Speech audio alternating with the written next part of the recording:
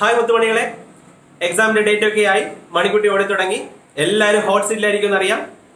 കൂടുതൽ ചളിയടിയൊന്നുമില്ല. Plus two ബയോളജിയിലെ ഏറ്റവും important chapter molecular base of inheritance അതിലെ ഏറ്റവും important topic lac of operon ഇപ്പൊ നമുക്ക് പഠിച്ചെടുക്കാം. കൂടെ ഇങ്ങ് വന്നാൽ മതി. പരീക്ഷ നമുക്ക് പൊളിക്കാം.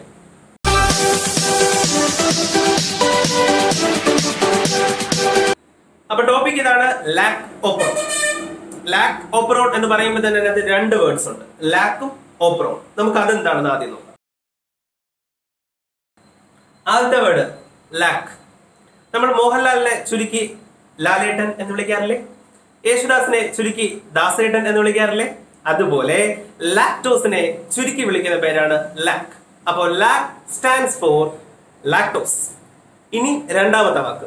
ഓപ്പറോൺ കിട്ടി മകളെ രണ്ടാമത്തെ വേർഡ് നമുക്ക് പഠിക്കാനുള്ള വേർഡാണ് ഡെഫിനേഷൻ പഠിക്കണം. ഓപ്പറോൺ എന്നാൽ എന്ത്? നോക്കാം. ഓപ്പറോണിന്റെ ഡെഫിനേഷൻ ഇങ്ങനെയാണ് operon is a set of genes which express together and which is regulated by a single promoter ഒന്നുമില്ലടെ. അതായത് കുറെ ജീനുകൾ ഒരുമിച്ചിരിക്കുന്നു. അവർ ഒരുമിച്ചായിരിക്കും എക്സ്പ്രസ് ചെയ്യുക. പിന്നെ അവരെ കൺട്രോൾ ചെയ്യാനായിട്ട് ഒരൊറ്റ പ്രൊമോട്ടറെ കാണത്തുള്ളൂ. എങ്കിൽ അത്തരത്തിലുള്ള ഒരു സെറ്റ് ഓഫ് ജീൻസിന്റെ ആ ഒരു സെക്ഷനെയാണ് ഡി എൻ എയുടെ സെക്ഷനെയാണ് നമ്മൾ ഓപ്പറോൺ എന്ന് വിളിക്കുന്നത്. കുറച്ചുകൂടി ക്ലിയർ ആക്കാൻ വേണ്ടിയിട്ട് ഞാൻ ഒരു എക്സാമ്പിൾ പറഞ്ഞു തരാം ഓപ്പറോൺ അല്ല അത്. എന്നാലും നിങ്ങൾക്ക് കോൺസെപ്റ്റ് ക്ലിയർ ചെയ്യാൻ വേണ്ടിയിട്ട്. ഉദാഹരണത്തിന് ഒരു പുളിമുട്ടായി നിങ്ങളുടെ ഫ്രണ്ടിൽ വെച്ചിരിക്കുന്നു എന്ന് വിചാരിക്കും. ആ പുളിമുട്ടായി ഇങ്ങനെ നോക്കിക്കോണ്ടിരിക്കുമ്പോൾ തന്നെ നമ്മുടെ വായിൽ ഒരു കപ്പൽ ഓട്ടിക്കാനുള്ള ഒരു സാധനം വരും. നമ്മൾ അതിനെ സലൈവ എന്ന് വിളിക്കും. ഈ സലൈവയ്ക്കകത്തുള്ള മേജർ ആയിട്ടുള്ള ഒരു മൂന്ന് കമ്പോണൻസ് നമ്മൾ എടുത്തു കഴിഞ്ഞാൽ അതിനകത്ത് മ്യൂക്കസ് ഉണ്ട് സലൈവറി അമലേസ് ഉണ്ട് ആൻഡ് ലൈസോസൈം എൻസൈം ഉണ്ട്. അപ്പൊ ഈ മൂന്ന് ജീനും അവിടെ ഒരുമിച്ച് എക്സ്പ്രസ് ചെയ്തു എന്നല്ലേ അർത്ഥം? അങ്ങനെ ഒരുമിച്ച് എക്സ്പ്രസ് ആയതുകൊണ്ടതല്ലേ അവരുടെ മൂന്ന് പേരുടെയും പ്രോഡക്റ്റ് ഒരുമിച്ച് റിലീസ് ചെയ്തത്? ഇതുപോലെ ബാക്ടീരിയക്കകത്ത് അതായത് പ്രോകാരിയോട്സിനകത്ത് ചില സെറ്റ് ഓഫ് ജീൻസ് ഒരുമിച്ച് എക്സ്പ്രസ് ചെയ്യും. അത്തരത്തിലുള്ള സെറ്റുകളെയാണ് നമ്മൾ ഓപ്പറോൺ എന്ന് വിളിക്കുന്നത്. അപ്പൊ ലാക് എന്താണെന്ന് മനസ്സിലായി? ഓപ്പറോൺ എന്താണെന്ന് മനസ്സിലായി? ഈ ലാക്ക് ഓപ്പറോൺ കാണപ്പെടുന്നത് ഈക്കോളൈ പോലെയുള്ള പ്രോകാരിയോട്ടിക് ആയിട്ടുള്ള ഓർഗാനിസത്തിലാണ് ഈ ലാക്ക് ഓപ്പറോൺ കണ്ടുപിടിച്ചത് രണ്ട് സയന്റിസ്റ്റുകളാണ് ജേക്കബ് ആൻഡ് മൊണോഡ് അപ്പോ തമ്പുരാമാരെ പേര് മറക്കരുത്. ജേക്കബ് ആൻഡ് മൊണോൾ പരീക്ഷയ്ക്ക് സ്ഥിരം ചോദിക്കുന്ന ഓൺ വേർഡ് ക്വസ്റ്റ്യൻ ആണ്. ആരാണ് ലാക്ക് ഓപ്പറോൺ കണ്ടുപിടിച്ചത്? ജേക്കബും മൊണോഡും ഓക്കെ അവന്മാര് ചങ്കുകളായിരുന്നു അവന്മാർ രണ്ടും കൂടിയാണ് കണ്ടുപിടിച്ചത്. ഈ ലാക്ക് ഓപ്പറോണിന്റെ ഫംഗ്ഷൻ എന്ന് പറയുന്നത് സാധാരണഗതിയിൽ ഈക്കോളെ ബാക്ടീരിയോ മറ്റേതെങ്കിലും ഒരു ബാക്ടീരിയ സാധാരണ ഗ്ലൂക്കോസ് ആണ് കഴിച്ച് ജീവിക്കുന്നത്. പക്ഷെ ചിലപ്പോൾ അവർക്ക് കഴിക്കാൻ ലാക്ടോസ് ആയിരിക്കും കിട്ടും അപ്പൊ ആ ലാക്ടോസിനെ ഡൈജസ്റ്റ് ചെയ്യാൻ വേണ്ടിയിട്ടുള്ള ഓപ്പറോൺ ആണ് നമ്മുടെ ഇന്നത്തെ താരം ലാക് ഓപ്പറോൺ. മറക്കരുത്. ഈ ലാക് ഓപ്പറോണിനകത്ത് ഏഴ് ജീനുകളാണ് ഉള്ളത്. P I P O Z Y A. വേണമെങ്കിൽ ഷോർട്ട് ആയിട്ട് നമുക്ക് പിപ്പോ സിയ എന്ന് വിളിക്കാം. ഞാൻ അങ്ങനെയാണ് പഠിച്ചു വെച്ചിരിക്കുന്നത്. നിങ്ങൾക്കും അങ്ങനെ പഠിക്കാം. പിപ്പോ സിയ സ്ട്രക്ചർ നോക്കാം നമുക്ക്.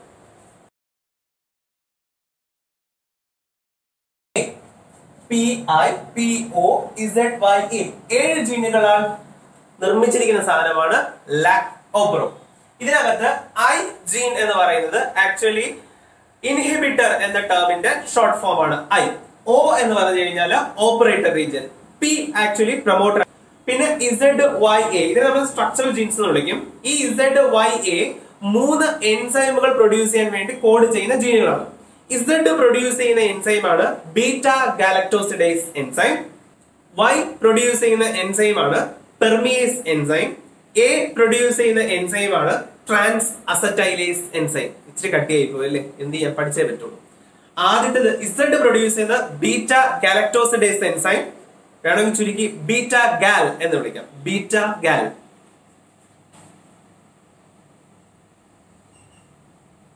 രണ്ടാമത്തത് വൈ പ്രൊഡ്യൂസ് ചെയ്യുന്നത് പെർമിയസ് എൻസൈം അതിനെ ഇനി ചുരുക്കാൻ നിൽക്കരുത്. ഓൾറെഡി ചെറിയ പേരാണ്.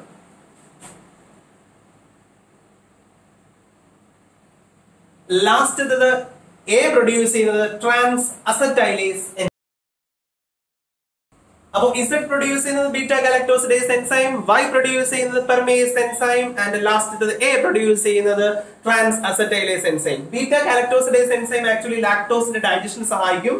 പെർമിയസ് എൻസൈം ആക്ച്വലി ഇതിനെ സെല്ലിനകത്തേക്ക് പെർമിറ്റ് ചെയ്യാൻ പെർമിറ്റ് ചെയ്യാനാണ് പെർമിഷൻ ആണ്. അത് കൊടുക്കുന്നത് പെർമിയസ് എൻസൈം ആണ്. ദെൻ ട്രാൻസ് അസറ്റൈലേസ് എൻസൈമിന്റെ ഫംഗ്ഷൻ ഇതുവരെ നേരിട്ട് കണ്ടുപിടിച്ചിട്ടില്ല. നിങ്ങൾക്ക് കണ്ടുപിടിക്കാം ഒരു നൊബേൽ പ്രൈസ് കിട്ടും. അപ്പൊ നമുക്ക് ലാക് ഓപ്രോഡിന്റെ ഫംഗ്ഷൻ എങ്ങനെയാണെന്ന് നോക്കാം. ആദ്യം നമ്മുടെ ട്രാൻസ്ക്രിപ്ഷൻ പ്രോസസ്സ് ഒരു സൈഡിൽ നിന്ന് സ്റ്റാർട്ട് ചെയ്തു എന്ന് വിചാരിക്കും. അപ്പൊ ഇങ്ങറ്റത്ത് നിന്ന് ഒരു മാലപ്പടക്കം പോലെ ഇങ്ങറ്റത്തേക്ക് ട്രാൻസ്ക്രിപ്ഷൻ പ്രോസസ്സ് തുടങ്ങി. അപ്പൊ സ്വാഭാവികമായിട്ടും ഐ എന്ന് പറയുന്ന ഇൻഹിബിറ്റർ ജീനും ട്രാൻസ്ക്രൈബ് ചെയ്യും. അപ്പൊ ട്രാൻസ്ക്രിപ്ഷൻ നടന്നാൽ സ്വാഭാവികമായിട്ടും ഒരു എം ആർ എൻ ഉണ്ടാകുമല്ലോ അപ്പൊ ഇവിടെയും ഒരു എം ആർ എൻ ഉണ്ടാകും ഐ ജീനിൽ നിന്നുണ്ടാകുന്ന എം ആർ എ വിളിക്കുന്ന പേരാണ് repressor M R N M R N എന്തായിട്ട് മാറും? നിങ്ങൾക്ക് നന്നായിട്ട് അറിയാം പ്രോട്ടീൻ ആയിട്ട് മാറും. അപ്പൊ എം ആർ എൻ പ്രോട്ടീൻ ആയിട്ട് മാറും. എം ആർ എൻ പ്രോട്ടീൻ ആകുമ്പോൾ അതായത് repressor M R N protein ആകുമ്പോൾ അതിനെ നമുക്ക് എന്ത് വിളിക്കാം?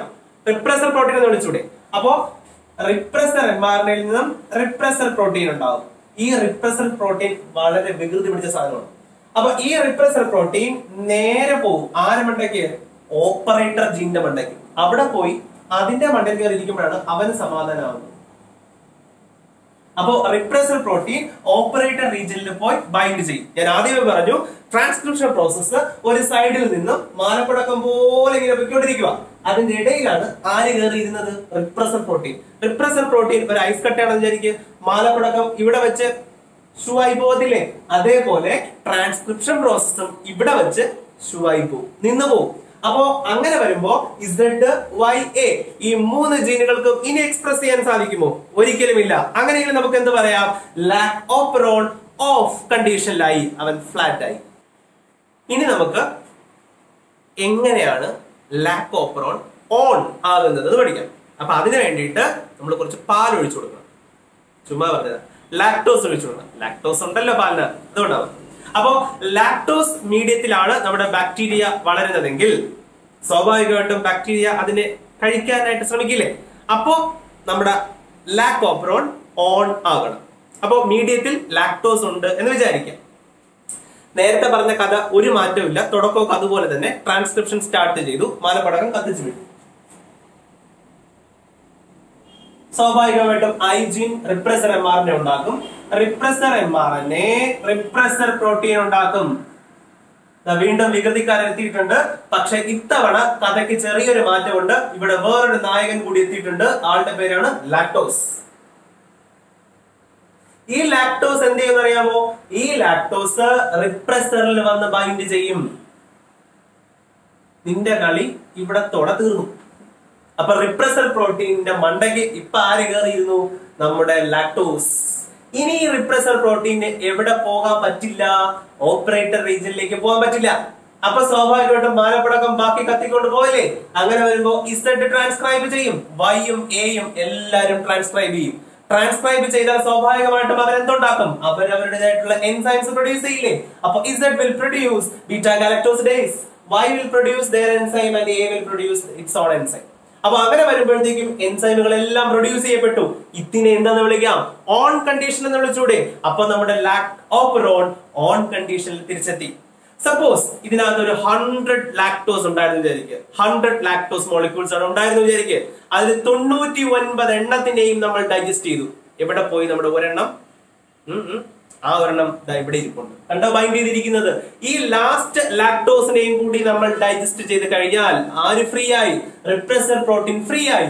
ഈ റിപ്രസർ പ്രോട്ടീൻ വീണ്ടും എവിടെ പോകും? നേരെ പോകും. അവന്റെ പഴയ സ്ഥലത്തേക്ക് ഓപ്പറേറ്റർ റീജിയൻ ഓപ്പറേറ്റർ റീജിയനിൽ പോയി ബൈൻഡ് ചെയ്ത് കഴിഞ്ഞാൽ ഇനി നമുക്ക് ഇസഡും വൈയും എക്ക് ഓൺ ആവാൻ സാധിക്കുമോ ഇല്ല. അപ്പൊ വീണ്ടും അതെന്തായി? ഓഫ് കണ്ടീഷനിലേക്ക് തിരിച്ചു വന്നു. അപ്പോ ലാക്ടോസ് ഉള്ളപ്പോൾ മാത്രമേ ലാക് ഓപ്പറോൺ ഓൺ ആകത്തുള്ളൂ. അപ്പോൾ ആരാണ് ലാക് ഓപ്പറോണിനെ ഓൺ ആകാൻ സഹായിച്ചത്? നമ്മുടെ താരം ലാക്ടോസ് അങ്ങനെയെങ്കിൽ ലാക്ടോസിന് നമുക്കൊരു പേര് കൊടുക്കണ്ടേ? ലാക്ടോസിനെ അതുകൊണ്ട് വിളിക്കുന്ന പേരാണ് ഇൻഡ്യൂസർ ആരാണ് ലാക് ഓപ്പറോണിലെ ഇൻഡ്യൂസർ ലാക്ടോസ് ലാക്ടോസ് ആണ് ലാക് ഓപ്രോണിന്റെ ഇൻഡ്യൂസർ ഒരു കാര്യം കൂടി നമ്മുടെ റിപ്രസർ പ്രോട്ടീൻ ഇവിടെ എന്താ ചെയ്തത് ഓൺ ആക്കാൻ സഹായിച്ചോ? ഓഫ് ആക്കാൻ സഹായിച്ചോ? ഓഫ് ആക്കാൻ സഹായിച്ചു.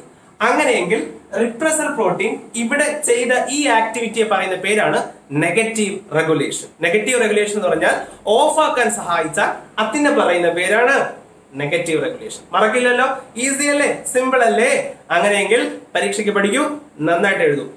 അപ്പൊ ഇത്രയേ ഉള്ളൂ ഇന്നത്തെ ക്ലാസ് പരീക്ഷയ്ക്ക് ചോദിക്കുന്ന പ്രധാനമായിട്ടും ലാക്ക് ഓപ്പറോൺ കണ്ടുപിടിച്ചത് ആര്? ജേക്കബ് ബെൻമോണോൺ സ്ട്രക്ചർ വരയ്ക്കാൻ അറിയാലോ? ഇതിന്റെ ആക്ടിവിറ്റിയും കൃത്യമായിട്ട് മനസ്സിലായല്ലോ? ഇൻഡ്യൂസർ ആരാണെന്ന് മനസ്സിലായല്ലോ?